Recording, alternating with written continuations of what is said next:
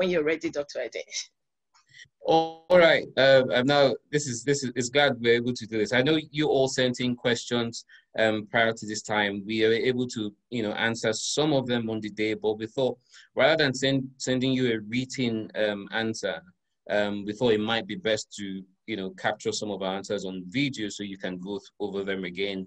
Unfortunately, uh, my colleague, a colleague of mine, Thomas Muinzer, has you know graciously agreed to join us. He's the expert in energy transition, in all things energy transition. So it is a pleasure to ha have him. He's a senior lecturer with the University of Aberdeen, um, and he will be giving us, you know, starting off with some context and, and definitions just to understand essentially what do we really mean for um, by energy energy transition and perhaps some of the implications for developing countries as well. So um, Thomas will just leave um, that background um, for a few minutes and then we'll go into the questions which Tony will be asking.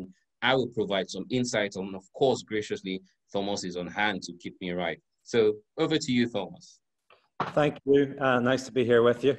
Um, yes, well, the global society, if you will, at the moment is currently undergoing this so-called energy transition.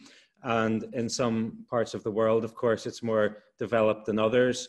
In some parts, it's higher on the agenda than others, but there's a general sense of global coherence emerging around this issue of energy transition. And what it really entails is it's, it's chiefly predicated on a gradual transition away from basically fossil fuel based energy sources by and large. That's the, the general sort of trajectory. So, transitioning away from heavy greenhouse gas emitting sources of fossil fuels.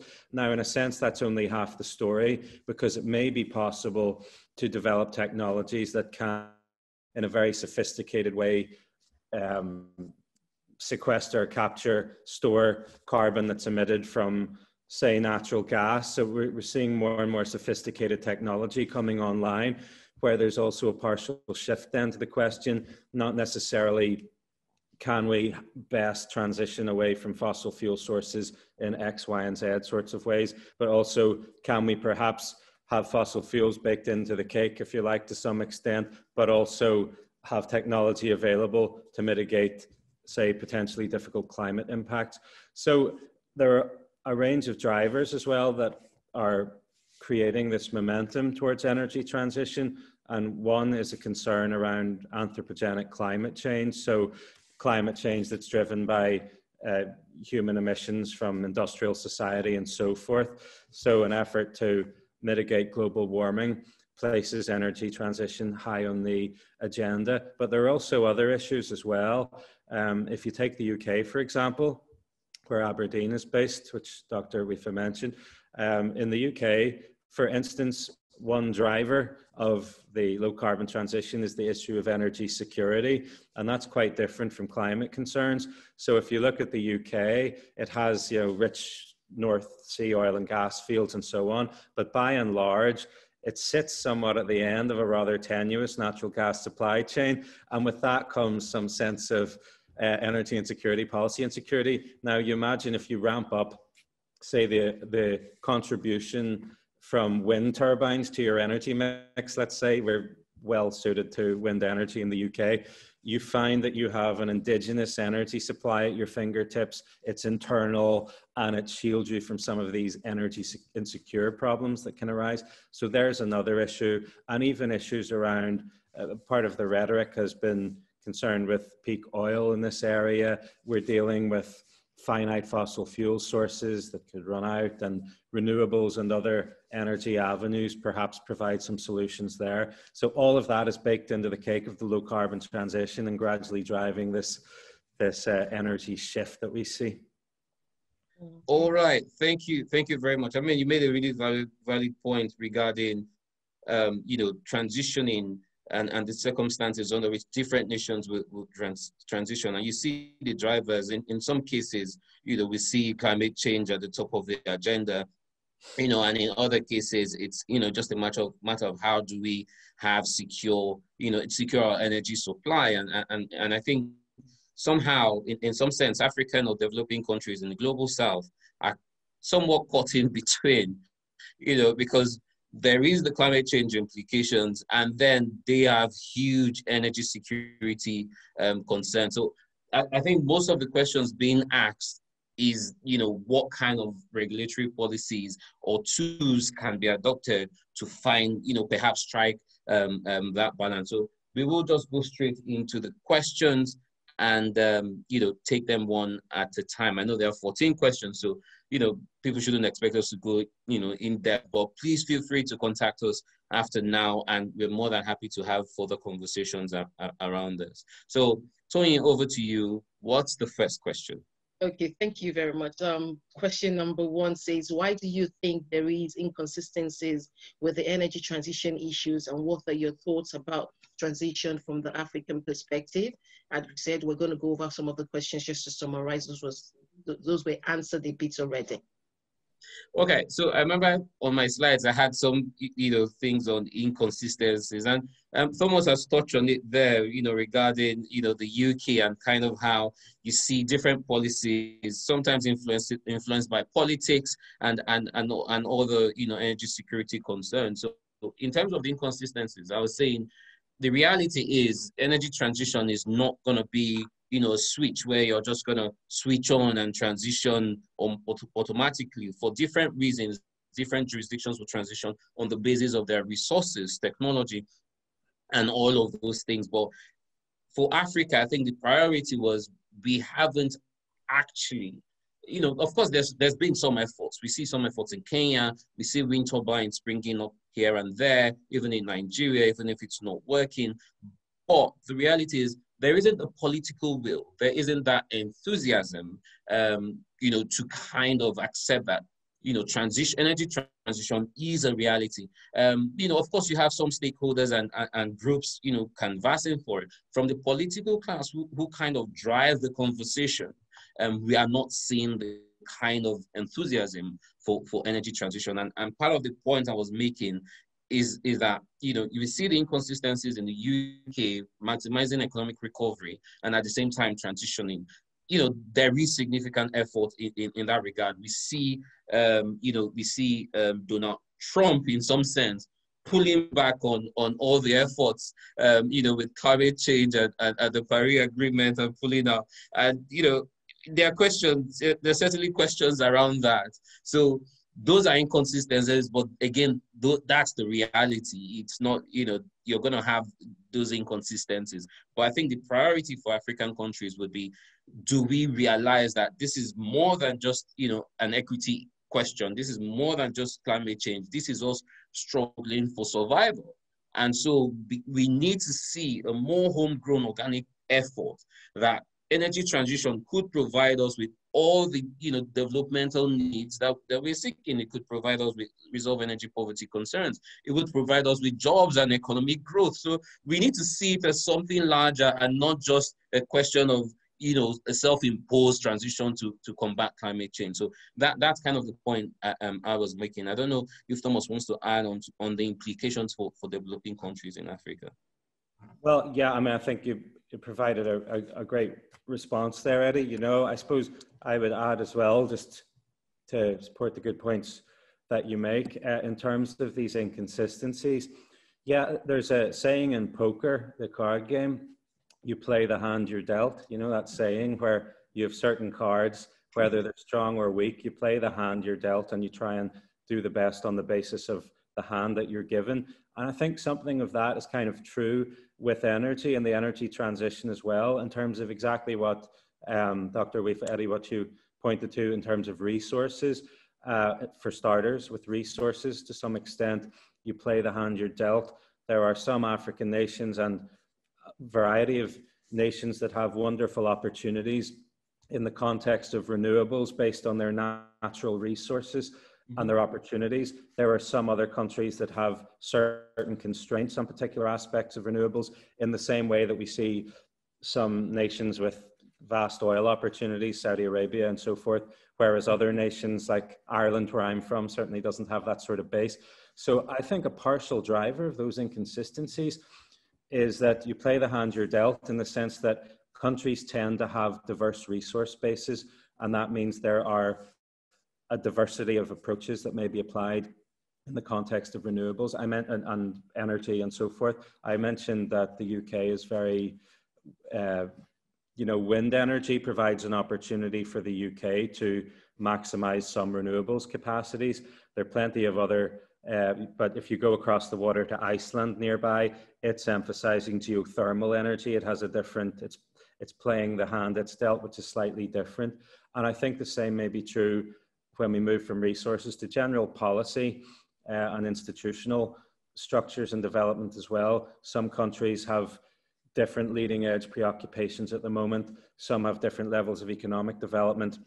Some have a diversity of concerns. Some countries are just coming out of serious conflict situations. Others are in those situations.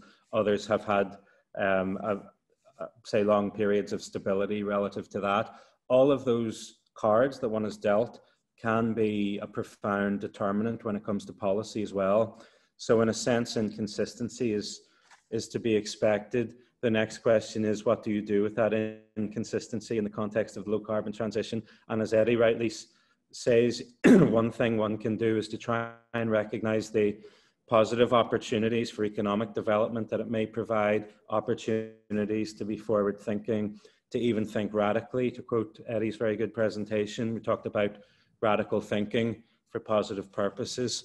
So I, I would uh, emphasize those aspects. Also, you know. Thank you. Thank you. All Thank right. You. Thank Next you. question. Thank you very much. Um, it says, um, what specific actions do oil-based e economies like Mexico should what sorry what specific actions should oil-based countries like Mexico take to transit to a just and fair energy transition? So I mean, again, you know, Thomas knows, you know, you know, is, is also an expert in energy, you know, energy justice related issues.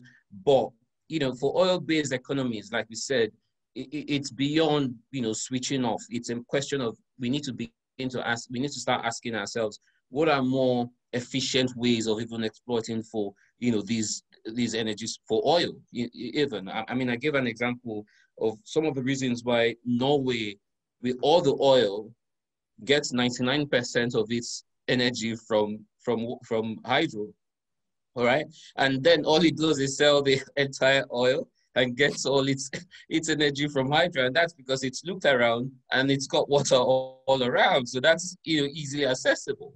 So we need oil-based economies must begin to understand that in fact there might be more easily available energy sources than even the oil we think you know is is relatively easy or, or cheap.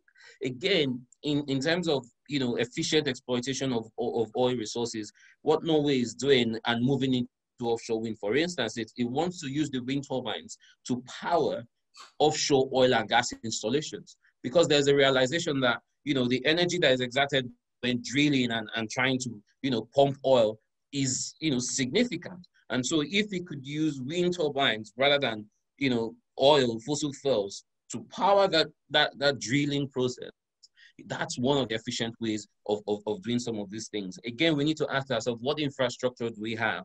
And how can we, you know, reuse some of this infrastructure for other sources? So some, some, some people are, you know, there's that, some people are advocating that some of the offshore oil installations could be used for, you know, renewable energy, CCS, carbon capture and storage, even for wind turbine flat, platforms and, and, and grids, you know. So I think we, there, there are efficient questions, there are questions on efficiency um, as well as what is the policy direction. I'll leave, um, you know, Thomas to kind, kind of add a, add a few words and, and look at the just transition question as well.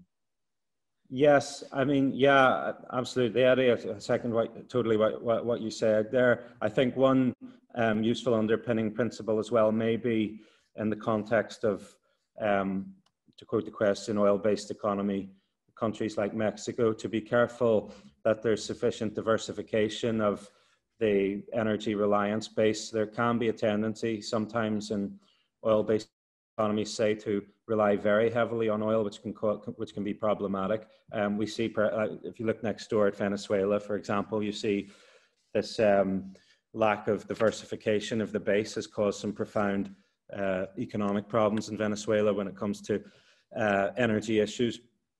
Uh, and also a diversification of the base, and in partly doing that, it I think it nudges some of those energy systems towards a broader mix, towards thinking about renewables and so on and so forth. And novel regime uh, design can be useful and interesting in the context of the low carbon transition. So the question mentions Mexico. Mexico put what it calls general law on climate change in 2012 in place, which has it's had mixed results in practice in terms of diversifying its energy base, in terms of expanding its say its renewables base, augmenting energy efficiency, and so on. But it's made a contribution in the right direction. And one thing it's done in particular is it has helped build confidence in streaming green finance towards Mexico for low carbon projects and so on. So novel approaches like that, including, for example, that Mexican framework, uh, are useful ways in which a just transition can be partially uh, galvanized uh, in the country. So the last thing I would emphasize is, you know, personally, uh, my my personal feeling, which is correct as far as I could see, is that one needs to be careful that those processes don't exacerbate but mitigate social inequalities when it comes to energy justice. Energy is profoundly bound up with social equity and inequity. I won't go into detail on that, but for obvious reasons, one must be careful that built into those sorts of regime approaches and diversification is a careful sensitivity towards energy justice in the sense of social equity, uh, access to energy and resources, and so on. Okay. Thank you very much. You said something there, you know, the mitigating part's very important. Um, I'll just move on to question three. It says, um, so this question says, I agree that we should just, we should jump into the renewable space, but how do African countries make the switch, even that the political uncertainty is high in Africa and there's no conf confidence to give investors who are willing to take the risk and deploy these technologies? So I mean, you know, some of again, some of these questions would overlap. We've we've kind of touched on on some of them while while answering the others. But one of the things I would say is, you know, for the same reason you want someone to come and invest generally, even if it was in manufacturing and and, or agriculture or in or any sector, um, you need to ensure that those you know you have the right investment climate. So it's not a question of energy transition or or energy or or, or whatever it is is is, is a question of what is your investment climate like and if you don't have the right investment climate even for oil people would not still invest so, you know, we are seeing that with, with, with oil, even in Nigeria, we're seeing some of the big oil companies trying to step away, um, you know, and, and, and go into, you know, go into other sectors and, and, and go into other, um, you know, deeper waters and all those sort of things. So you would see a lot of pullback um, if the investment climate is not is not particularly um, encouraging if you have conflicts if you have different groups, militia groups, and all of those things. It's not a question of oil.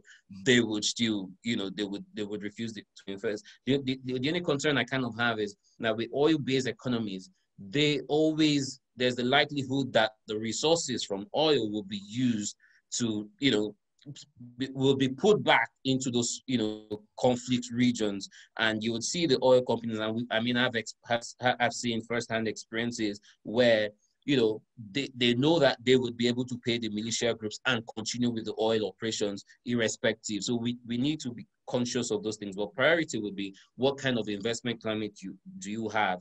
Um, but another thing we've seen that has been done in Scotland, and, and I'm sure Thomas would you know be able to throw in some more light, is the sector deal. All right. So if government policy is geared towards creating an enabling environment, then you can begin to carve out specific unique sector deals. So, the, you know, the same kind of deal you would give, a, you know, a fossil-based company might be different from the kind of deal you would be making with, with, you know, a renewable energy company. If that is your policy direction, if that is your strategy, it would then encourage investments. All right. So we've seen that play out over and over and over again. Unfortunately, in certain countries, we see more subsidies being put into fossil fuel, you know, subsidizing for fossil fuel when we should be encouraging renewable energy companies. So, you know, that that's the that's the conflict um, I kind of see here. So if your if your energy if your energy strategy is towards having a robust energy mix and encouraging a shift, you know, in that sense as as, as regards energy transition, then try and make very specific uh, um, unique deals um, for those sectors that you choose to encourage. Okay. Um, Thomas, would you like to add anything to that? Yeah, I mean, I'd add, you know, Eddie raised a whole range of great points and in his talk there as well. I think when we're thinking about this notion of African countries making that switch, um, given that sometimes political certainty may be an issue and there may be investor confidence as, uh, as an issue and so on, it's undeniable, like anywhere, like my home of Ireland, in some of the African nations in particular, there are some pronounced structural problems when it comes to governance. Uh, some places there are particular problems when it comes to political and social stability that can have a partial, perhaps undermining influence to some extent on investor certainty and so forth. And in each of those cases, and Eddie's a distinguished expert on these sorts of things, there will be, I don't think there'll be a magic bullet or there'll be a general principle as to how to to correct and improve things just in the way there maybe isn't in Ireland, as say compared to certain problems in Hungary or whatever it may be.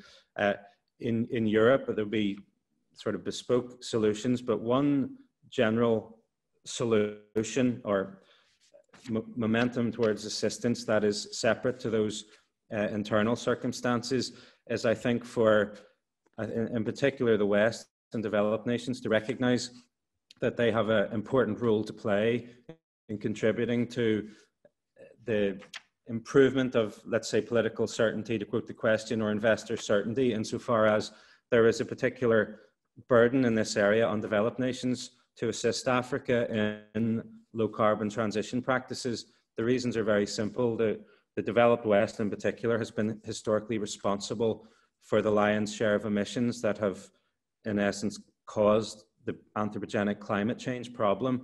And in some cases, it's African nations that will bear the geographic, the natural brunt of that to a much more pronounced extent than the Western nations. So there's a historical moral obligation to assist, but also we've opened up these international green finance flows in this area. Again, there's a burden there on the West to use those meaningfully and in a in a practical way to assist Africa with its transitioning process, notwithstanding the fact that, yes, there are some concerns around political uncertainty in certain parts of Africa and so on and so forth, but it doesn't change the, the burden on the West to assist in equitably distributing green finance flows because, again, the West has been chiefly responsible for the primary problem at heart here, which is anthropogenic climate change, and Western economies have benefited hugely from the Industrial Revolution and post-industrial revolution that have spurred some of these difficulties. So in international law, we, we tend to refer to certain principles here, burden sharing as one principle, burden sharing, and also common but differentiated responsibilities. Common but differentiated responsibilities, it's a principle embedded in the United Nations Framework Convention on Climate Change. So to improve situations and to partially mitigate some of those problems raised in the question in the African context. Part of the solution, I think, yes, very much internal to, to Africa, but part of the solution is also for the developed nations to recognize they have a responsibility to actively assist under these international mechanisms in deploying green finance appropriately, contributing to that investor certainty themselves, because there is a role to play there across the board. So it's a local problem, but it's a global problem all in one, I think. And I think that's partially indicative of problems in this area in general, wherever you look in the world to some extent. Thank you very much. I do like the fact that you said, you know, as much as it's an African problem, the developed countries too have a part to play in it. So that's very useful. Um, the next question says, um, taking Nigeria as an example, over 70% of revenue comes from conventional oil and gas. How, how do you develop political, sorry, how to, do you, I'm guessing, develop political will to move investment from oil and gas to something else, so like moving investment from oil and gas to renewables? How would you suggest? I mean, I think that's, yeah, I think that question has already been touched, but I mean, everybody knows the issue of political will is not, you know, there isn't a clear answer to how, you know, you work around political will. But what I used to say is, and that was kind of what I was saying, you know, in terms of a homegrown organic approach.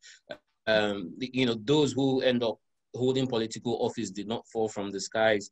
They fall from, you know, amongst, you know, every citizen. So it's a question of what is the approach? What is what is the vision from the everyday person there? Do they even understand what climate change is? Do they understand the implications? Do they know that the landslides in, in the eastern part of Nigeria is in, you know has climate change implications? What about the north? Do they realize that the desertification that we see in the north is as a result of climate change? So I think you know before we even start having those conversations of political will, we need to ask ourselves, what does the average person understand of the implications for energy transition? And the conversation be how how how how effective are you know non-governmental organizations in driving home these conversations, you know, at that you know local level. Once that is missing, then we, there wouldn't be a political will because you see sometimes here, even in the West, most of the drivers for energy transition are not particularly governments you know, and not government, particularly government institutions. It starts from everyday people knowing that we need to do something, and then it filters, you know, all the way from that bottoms up. So if we do not deal with, you know, that that understanding from the locals, from you know, non-governmental groups, hoping that they are not, you know, cramped down and shut down and all those kind of things, you need to have that kind of governance environment that encourages that. The absence of that means there would absolutely be no political will, even when those people, you know, get to um, hold political offices. Okay, thank you very much. That's interesting to note. Um, Thomas, do you have anything to add to that? No, uh, uh, not particularly. I suppose it, I would just briefly highlight, yes, of course, the, and as Eddie points to, the geopolitical circumstances, especially with relation to energy, are particularly complex in Nigeria. It's a particularly complex internal situation with reference to energy there, and that can pose certain tricky challenges. But perhaps a general way to look at this is, I think, on the downside, and as Eddie pointed to, um, scientific analysis shows that Nigeria could potentially be very seriously impacted in certain ways by unchecked climate change. In some sense, it's slightly on the geographic front line when we look at, if you look at the scientific commentary on projected impacts and with reference to certain nations, there are certain concerns there that uh, pertain to Nigeria. And perhaps that, if that can galvanize some consciousness raising in the country, as with all countries, including mine, consciousness raising can be useful in this area, as Eddie talked about people's awareness. That may be one one lever to help raise awareness. Uh, but on a more op- optimistic note, um, I've seen reporting on Nigeria's potential in the area of renewables. Mm. And Nigeria has, for all we think of oil and so on, it has some wonderful potential capacity in the area of renewables, some wonderful untapped natural resources. So that may be a pleasant thought and a cause for optimism in going forward if, as consciousness is raised, and um, various action can perhaps be mobilized. There, there's a wonderful, beautiful landscape, beautiful country, and there's a quite a rich resource base in this area that would actually be the envy. In many ways, many aspects of that landscape would be the huge envy of, say, Ireland, where I'm from. So there's cause for positivity and optimism in going forward in Nigeria as well. So that, that's all I would point out there. Okay, thank you very much. Um, one thing that popped out to me there is the awareness raising, you know, just getting an understanding, you know, right from the bottom up, definitely. Um, next question says, given the state of play and concerning paradox, what political and policy solutions do you propose for state-driven transition efforts in Africa? So, I mean, yeah, I mean, um, if you if you look at, I think we have touched on, on, on this question the other day, but I, I think the whole the whole idea when you look at the paradox and the point I was making um, in in going through oil sector governance before even discussing energy transition mm-hmm. is that if we're not careful, we will be report, repeating the same mistakes that were made during the time of, of oil sector governance, of, of you know, oil booms, so to speak. Because some countries get the oil, they utilize the resources, and they begin to transition. We got the oil, we did not manage the resources, and transition is upon us. It's like you know, I, was making an, an example to to a friend. I said it's like someone who was selling you know, starch-based foods and now begins to realize that all his neighbors are then beginning to watch their weight or, or are conscious of their diet. And he's stuck with all his, you know, all his resources and almost nothing to do with it. So I think the, the conversation must be you know, what do we do with, you know, what resources we getting from oil and how can we use that resources to encourage, perhaps in the area of technology, perhaps in the area of, you know, investing in research, perhaps in the area of, uh, you know, investing in community-based um, energy uh, energy policies. Because, like I said, it has to be a, a bottoms-up approach. What how what are regulatory regimes in terms of decentralization. So, you know, Nigeria as a country is a federal system where everything, you know, almost comes from the top and, you know, very limited powers to, you know, local and, and state um, driven agencies. So how do we decentralize and liberalize the market in such a way that, you know, if you, a community in, in, in the north or in the south or in the east may be able to generate their own electricity and be able to handle perhaps connecting it to the grid in some sense, like we see, you know, being done in Scotland, and, and Thomas will be able to throw some light on it. So I, I think, you know, organically, we need to be conscious of the mistakes we've made and avoiding avoid repeating them. But we need to have regulatory um, policies that one encourage decentralization, that invests in research and technology and education, because that's how some of these things started. All right, people built a wind turbine and studied it and understood. Okay, if we if we did this with one, maybe it was a small one, and we see the wind turbines. If you look at the lifespan of the wind turbine, how exponential it's it's massive. But it didn't start that way, and that was because people just started by understanding what it really is. And if you're able to invest that way, it means you would not need forex to be able to import, you know, the technology or, or get people from from from the west to do that because you already have it which is one of the problems we are seeing when we need forex to import oil.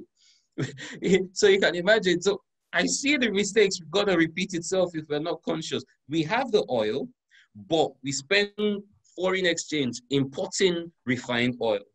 If you if you're not conscious, you would have the energy resource. So you would have wind, you would have solar, but you spend forex asking China or England or the UK or Germany to come back and build the wind turbines. So we're going to repeat the mistake. So it's going to be a cycle. It might not be today, but give it five, ten years, 20 years, we will be back to the same sport. So until we begin to invest in the things that really matter so that our schools, our university, our research and innovation institutes will begin to engage with the transition conversation and begin to test run and build these things, we will be back to square one in no time.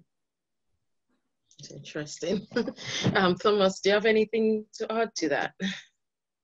Uh, not particularly, except to support and echo. Eddie's such a distinguished expert on those issues and made such a great range of points across his his the formal element of his lecture as well. I just um, I think Eddie's message should be listened to. I think it's important, very sensible. And one thing that struck me in particular was Eddie during the course of his lecture emphasizing there may be a need to think radically. I think that was your term, Eddie. yeah. Radically. Mm-hmm. And that's maybe a lesson for our times because the energy transition, be it Africa, be it Ireland or the UK, be it anywhere you want to point to on a map, uh, is requiring radical change. And that's true in Africa. Radical thinking will be required. It's true where I'm from. And I think that that uh, partial essence of Eddie's message is goes to the heart of circumstances in Africa, but also is maybe a universal uh, truth for all of us in a sense at the moment. That's very interesting. Thank you very much. You know, in terms of talking about the radical change, we need to definitely be a bit more forward thinking in what we're doing. You know, I found out that a lot of times we're kind of like stuck in the moment without actually projecting towards the future. Um, the next question says, following you might need to skip it. That's that's that's um that should be Phobos's question, isn't it? Oh yeah. you can answer your own question. that's your that's your question. Um, I need well, to skip that one. the next one too is the bulky one, and I think she talked about it already, and you answered yeah. it. Um, the yeah. next question says, how would private firms and professionals within the energy space champion the implementation of strategic policies that encourage sustainable energy technology solutions towards energy transition? I mean, I think certainly private firms and again professionals have have a role to play, and and we see that happening with um, even the big multinational companies. You know, you you see that conscious that awareness um, and, and that shift. You know, BP is saying it's going to invest X, Y, Z in, in, in, you know, in low carbon energy. We see no Equinor now, um, you know, putting aside um, about two point something billion euros for you know for carbon capture and storage. So we, we're beginning to see you know that change, and you know if if if countries and, and again that's because of a certain level of pressure. All right, that that's on one hand it's an economic decision. So people think you know, when oil companies or oil multinationals do that, they're, they're losing money. No, no, no, they're not. They're actually still diversifying, which is essentially what oil companies do.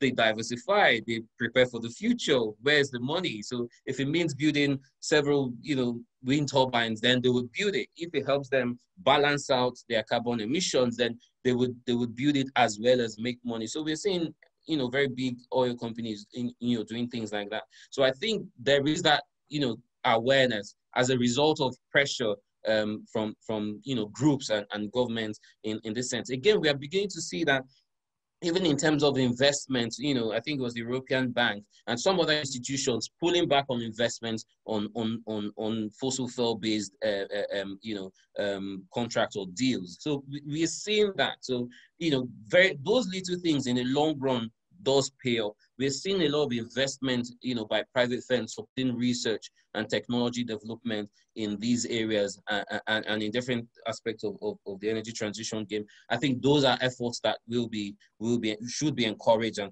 and, and should continue. And then we are seeing some behavioral changes from from from the from the part of, of the multinationals or, or private firms as, as well. So you know, the, I saw I saw a research that said they would then begin to have um, you know, transparent, um, transparent solar panels.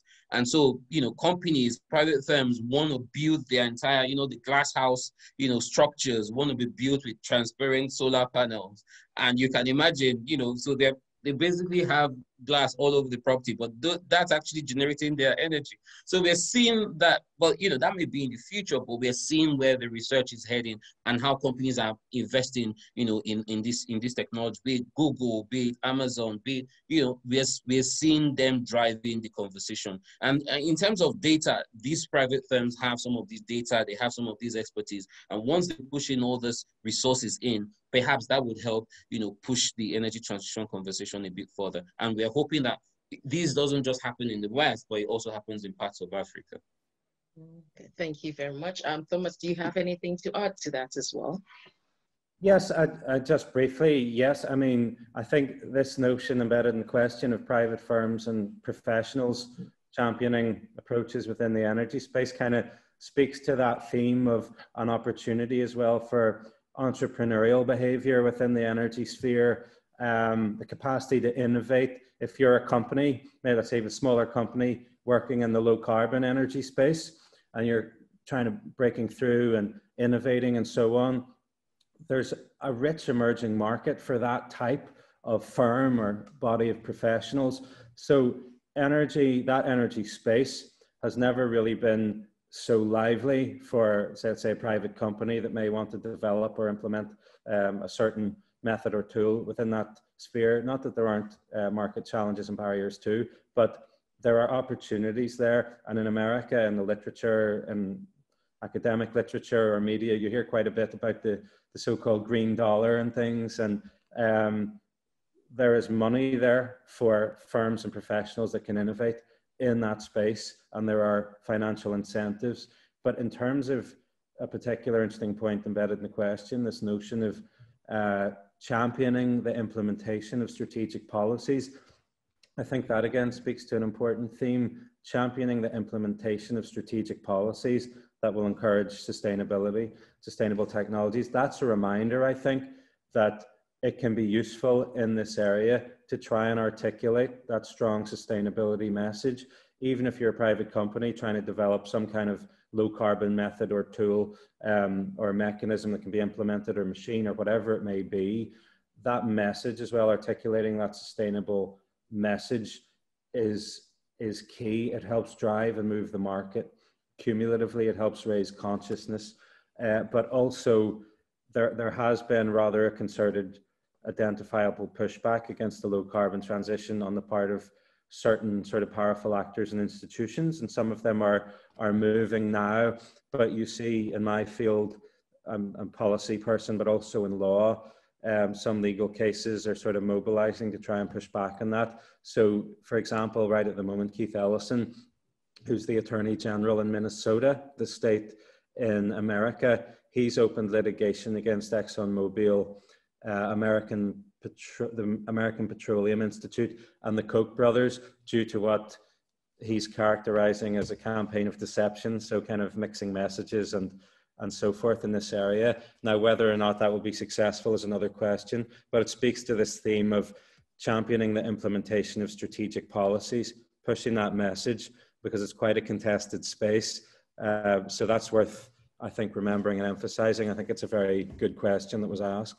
Okay, thank you very much. Um, the next question, there's a lot of stories behind for it, but the main question there says, um, do you think decentralization could be an answer to sustainable to sustainably roll out the energy transition in Africa?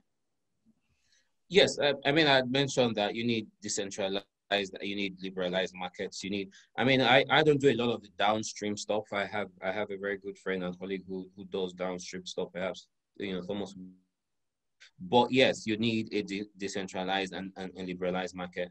Um, and that's something you know um, that, that should be encouraged because without that you would not have this homegrown organic approach to to energy transition. It would be you know stuck with just what government says and government policies. So i had mentioned that earlier while answering one of the questions that yes i think i think we should have a decentralized market.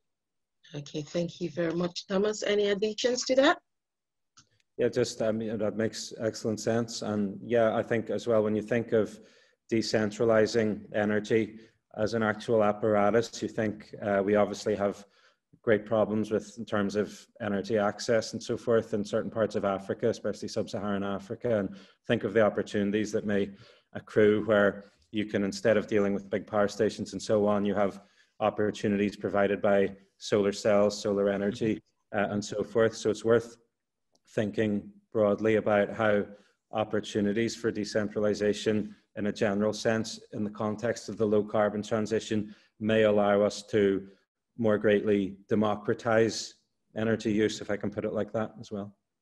Yeah, thank you very much. Um, I do like that word, democratize. Sorry, don't twist it. um, the next question. the next question says, what roles could indigenous oil and gas company play in energy transition? I think, you know, that's yeah, been touched on. We've answered that.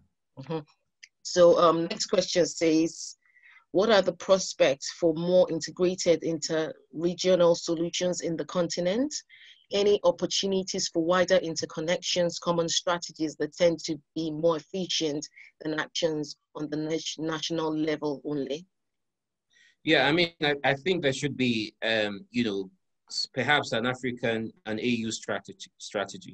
Um, I was trying to find, you know, do we have a coherent um, African Union strategy on on energy policy and energy transition um, and it was it was a it was a bit of a struggle you see you know a few messages here and there but there isn't any clear strategy again for political reasons african union is completely you know it's structured a bit different you know in some ways than you would have with the eu um, you know arrangement so it, it makes things increasingly difficult but we are seeing with the you know perhaps with initiatives like the Africa Free Trade, you know, um, agreement. Uh, in that sense, if we have that going, perhaps that may feed into this need for more, you know, um, regional approach to energy strategy. And in that sense, we'll begin to understand that what affects one affects all.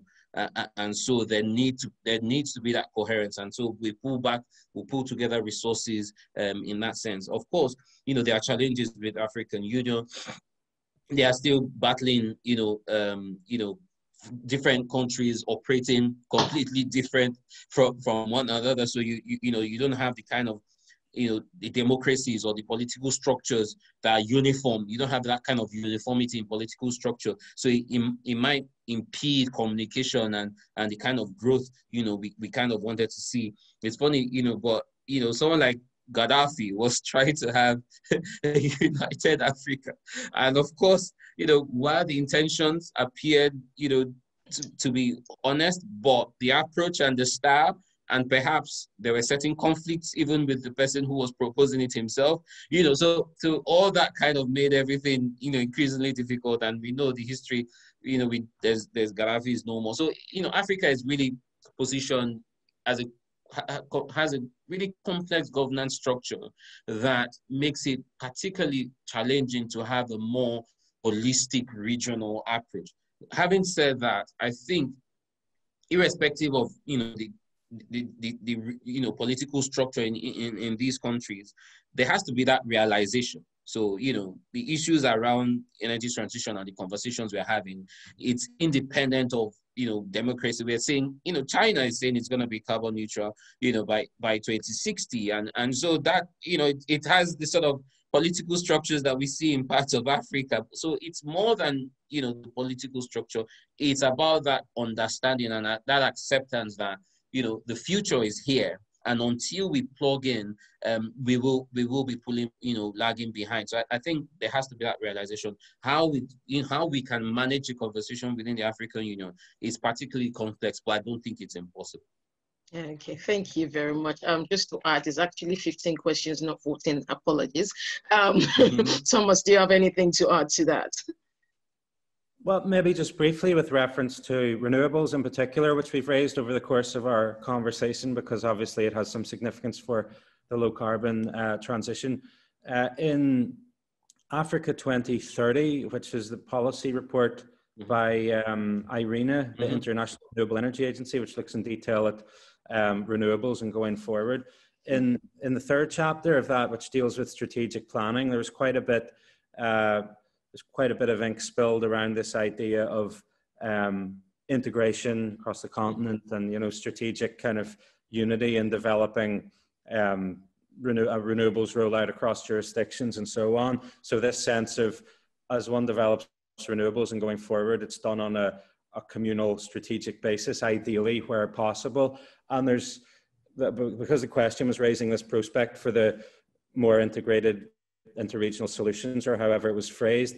Um, given that renewables are are beginning now to emerge and get up ahead of steam, I think it's useful that policy reports like that, when it comes to strategic planning and framing, are typically uh, recognizing particular needs for integration and to bake those into the cake of the strategic plan. And perhaps there's a broader lesson there for energy in general to to try and recognize those wider opportunities where possible and fold them in. And that, as I say, that that does seem to be happening to some extent with renewables, um, which is is promising. And I just think the last thing I'd say as well, there's a, um, a another layer perhaps to the question when we're thinking about more integrated solutions that transcend a particular state.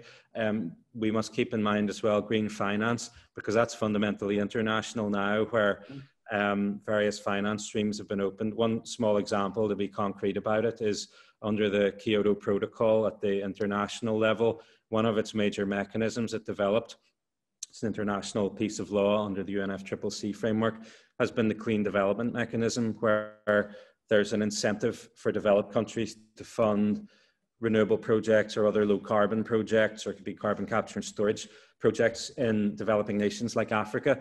So um, there's an issue there as well of cumulatively working to perhaps benefit from strategic international green finance as well in a common way. And just to add, I mean, if if we're going to maximize, you know, or make the most of the energy transition, you would see that some of the solutions may be perhaps to move offshore.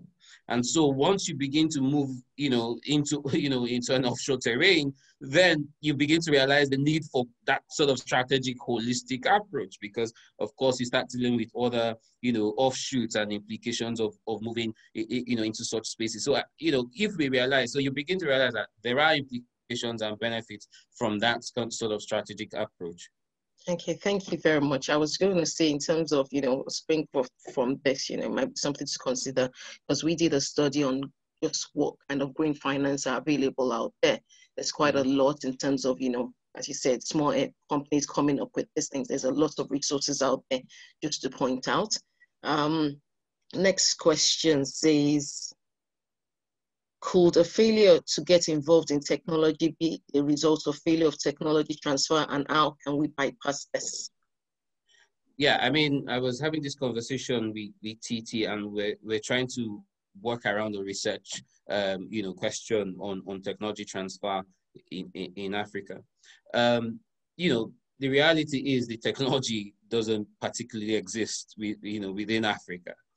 And so if you're going to build all these infrastructure and all these wonderful, laudable projects, the question is, where does the technology come from? Um, technology transfer is, is, you know, is an issue and there are IP concerns around it. But um, I think in some sense, there are ways to get around it. So, you know, if you create the right, for instance, investment climate, um, then perhaps we would be able to have you know, in, in, introduce that, that, that technological requirement. Of course, there are broader IP related questions around it. And, you know, I'm not, not, not an IP expert, but I think like we mentioned before, even locally, even locally, there are steps that can be taken to get involved and, and understand the technology. We see it through, you know, value chain and local content policies to kind of, you know, to, to, to get ahead of the game if we don't see that happening across our research and innovation and you know institutions, there's absolutely no way we can break the barrier. We will be stuck.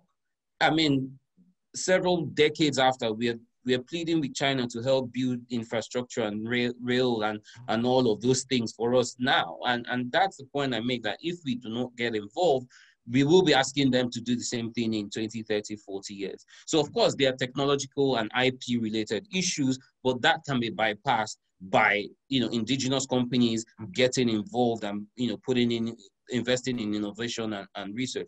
And we see that happening in, in, in parts of africa. I mean i think there was there was there was a we're seeing com- indigenous indigenous companies building cars. We're seeing i think there were some students who tried to build a plane, you know, didn't particularly go over. But we see some of those indigenous efforts. Those are the things we should be championing.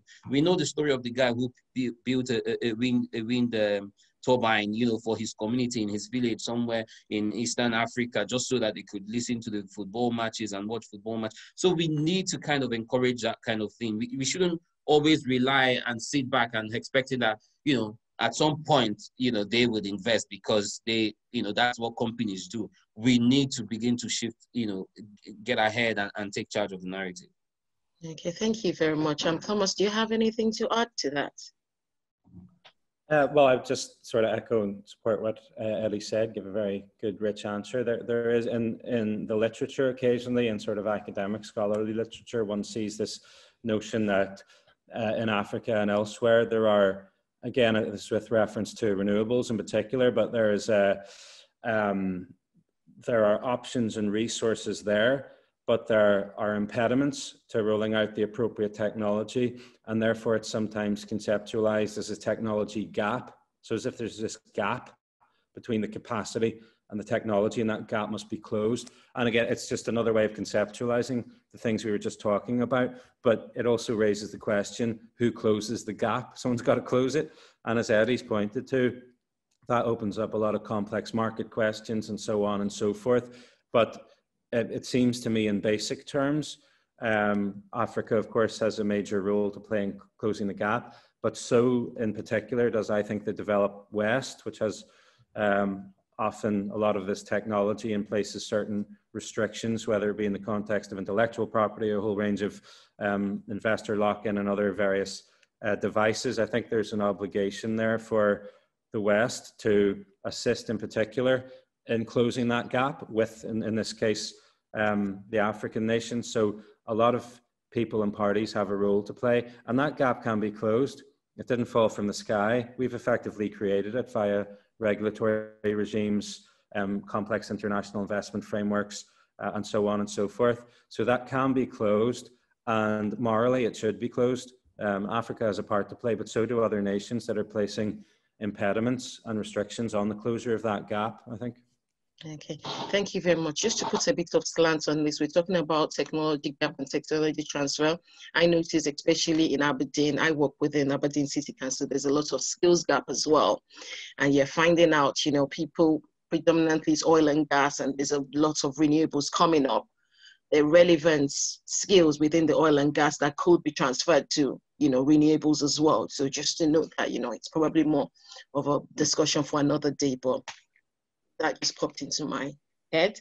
Um, next question is, in the Industrial Revolution, the rich countries multiplied their population, creating a big problem of resources.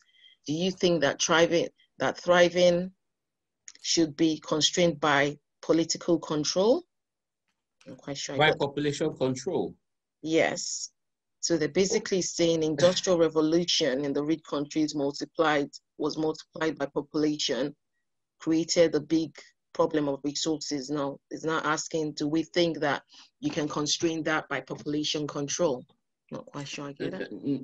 that's not a conversation I would want to get yeah, it's not population stuff. I, I I certainly don't want to get get into those that sort of question. I, I already have two kids and I don't know what will happen next. So, so, so, so where does the control come from? Who breaks the brakes? You know, I mean, there there are larger you know complex issues uh, um, around that and we see i mean we see the african population um, you know, growing exponentially. Um, but I think it's a, it's because of lack of strategy, lack of planning. Um, I mean, if I'm going to have another child, I must ask myself, do I have the resources to take care of, of those children? And so, if I don't ha- ask myself that question, and I end up with you know several you know kids and I'm unable to fend for them, then it's it's my problem, you know. So once you don't have strategy and you don't have you're not forward looking and forward thinking, then you start having this sort of constraints where the population grows and you don't have enough energy, you don't have enough food, you know, there's food poverty and all the other economic issues that occur as a result of population growth. So I'm not to say, you know, control your population. Absolutely not. I am to tell you to strategize and plan if you don't do that, then you would have issues. Okay, that's very interesting. Thomas, do you have anything to add to that? I'm glad Eddie took that one for us. um, in Nigeria or in Africa, they would tell you that you know you don't plan for children; come with resources from heaven. I beg to differ. Well, um, that's what has gotten us to where we are, hasn't it? it is. It is. As you said, you need to you need to plan definitely. Mm-hmm. Um, the next question says petroleum production is profitable in Nigeria mainly because it's exported to foreign buyers. Gas sales in Nigeria, gas sales to the Nigerian domestic market is on uneconomic due to bad payment culture. How do you plan to transit from petroleum to wind power and get Nigeria domestic market to pay for this wind power? That's quite specific, isn't it? No, I mean, we're, we're beginning to see, you know, the technology has evolved and, and, and the systems are, are evolving and infrastructure is, is, is being developed and, and we're seeing, you know, um, the price of, of, of energy, particularly from wind, you know, the cost of energy being, you know, being, you know, slowing down, you know, we're seeing that reduction in, in energy cost. So you know, the initial concerns was, of course, you know, this is expensive. How, how do we manage it?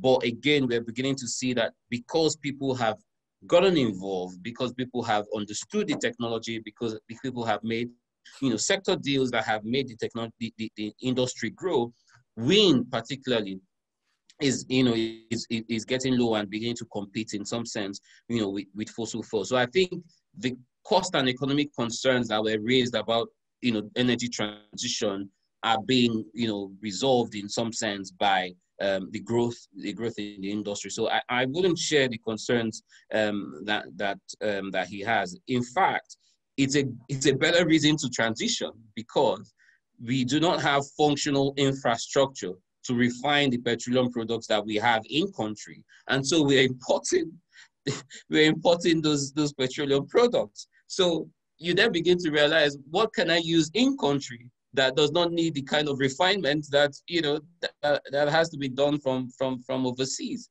Of course, renewable energy provides that answer because you know there's nothing to do. It's gonna be there. You're gonna do it, and you're gonna you know send send the energy out. So it, it, it in fact that is an opportunity for the government you know to take advantage of. Okay, thank you very much. Um, Thomas, do you have anything to add to that? Uh, I think you know Eddie has great expertise there and has an- answered that very well. Well, just one thing that would jump out as me without his rich level of expertise in that particular narrow point is that the question it raises it, this interesting theme again of uh, what and what Eddie I think pointed to in his talk very well this idea of energy justice or energy democracy. Um, it points it says gas sales to the Nigeria domestic market are uneconomic due to bad payment culture. I don't have any particular comment on that directly myself, but that notion of bad payment culture is interesting. And then when it asks, how do you plan to transit from petroleum to wind power and sort of circumvent those problems? On a point of general principle, uh, where there may be, I don't pass any comment on that directly. I don't have any specific narrow expertise there, but where there may be some inequities. So here we're thinking about energy justice, energy democracy built in to an energy market model. In this case, the person suggesting gas sales in Nigeria. When we come on to renewables, talks about wind power, one can, I think, try and screen what one does or in going forward in the fossil fuel energy sector to try and pare out those energy inequities that often are typically built into energy structures. So to be specific, the person talking about bad payment culture with reference to gas sales, with wind power, which is a newer, it's the new kid on the block, as it were, in that context. Uh, if you look at some countries like, say, Denmark, which pioneered a rollout of wind energy, what they have done to try and partially mitigate these sorts of energy inequities what you might call a bad payment culture. It's not quite the same thing, but they devised a sophisticated system where communities have uh, buy-in options and ownership options over uh, part of wind turbine revenues and things. So as a general point, why um, Eddie's dealt with the narrow issue really well, it raises a meta issue of how to avoid, in the context of the low carbon transition, importing potential inequities and inequalities into our energy systems as we develop and go forward, be it fossil fuel, renewable, nuclear, whatever it is you're talking about. Um, so I think it's just worth emphasizing that point. And we can look at places like Denmark with wind power and not perfect by any means, but we have frameworks and models that are being rolled out that may inspire us in Africa or wherever we may be to try and absorb some best practice models. Okay, thank, thank you very much. Um, last question, thankfully. Considering the dangers of climate change and global warming due to the use of fossil fuels, um, do you think there is time, do you think there is time and possibility of a continental or global strategy that can put in place, that can be put in place so that countries with abundant fossil fuels can be used to generate funds, which can then be used to invest in the green home grown transition for these countries without a break, breakdown in the economies of these countries? quite a one. I mean, I mean, it's a yeah, it's a long question, but I mean, it's all around you know sovereignty and and you know what what countries. I mean, countries have sovereign rights over their natural resources, and you know, it's not for one country to tell another what to do um, with its resources and you know what to do with you know with its money um, or, or the funds from those resources. It's it's a question for those those countries to identify we've got this much. How do we manage and, and utilize it? So it's it's so there's that point. But again, in terms of a global or continental strategy, I mean, at the global scale, we've got we've seen you know regimes under uh, UNFCCC, uh, you know, and, and all those sort of regimes that kind of encourage um, um, that in terms of diversification and, and use of renewable energy sources. And I mean, I'll, I'll let Thomas um, throw some more light on, on the global um, regime. But we see also in the EU that there is a clear energy strategy and, and you know, we see individual countries keen into that. I mean, on, again, like I said, the EU runs a, a completely different regime than Africa, where you know once something is agreed at, at an EU level, um, there is you know that that consensus so to speak, where each individual country is beginning to buy in and, and replicate um, at, at, the national level. So, but we don't have that sort of structure, you know, in in in in, in Africa, um, which but again back to the point that when we consider the impact of climate change, there should be, you know, that continental effort. But I'll let Thomas, um, you know, discuss you know the global efforts or the global regime uh, and and then the EU strategies as well. Uh, yes, sure, Eddie. Um, yes, there. So the, there has been, as, as Eddie pointed to, the UNFCCC, for example, there, there has been, uh, it's been slightly slow, slightly faltering, but nonetheless meaningful development of an international regime in this area. And the UNFCCC, the United Nations Framework Convention on Climate Change that Eddie mentioned, um, was set in place in 1992 and the vast majority of the international community is behind it and has signed up. And it, it provided a sort of consensus agreement that we need to deal with climate change as an international community. It's an international problem, created monitoring and reporting facilities. It was relatively soft and light in terms of robust content. And since then, the international regime has, has developed and evolved a bit. And without running through it, we had the Kyoto Protocol that I mentioned earlier in our talk here. And 1997, and there have been some other developments, the Doha Amendment to the Kyoto Protocol in 2012, and the, the famous, much vaunted Paris Agreement, which was 2015. So we've had these, these developments, and they've, they've gradually moved the international community towards some coherence uh, in this area. It tends to be based on consensus and a desire to act together, as opposed to a top-down imposition of standards and drivers on nations below the international level.